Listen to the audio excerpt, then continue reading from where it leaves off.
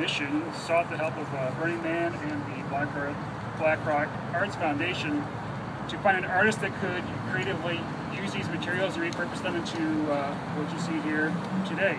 Uh, this site presented itself as ideal during the process of our uh, search for what can we do with these materials, where can we put them.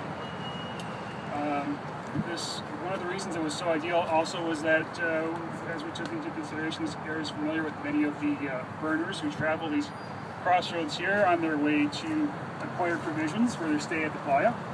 Uh, our artist Mark Szulgit and his collaborator Brooke Ertman, they took the Reno Star to Burning Man uh, last year where over 50,000 people had a chance to see the sculpture and then after that the sculpture was brought back here, installed, given its final paint job, and here we are. Uh, we think it's fantastic also that the artist employed numerous local businesses in Reno to transform the old materials into this new sculpture. Uh, in so many ways, this sculpture is associated with the message of revitalization. It's repurposed old materials. It's been placed at this intersection that's uh, undergone these aesthetic renovations. Uh, it's on a piece of land that was previously empty, unused, somewhat uh, unattractive.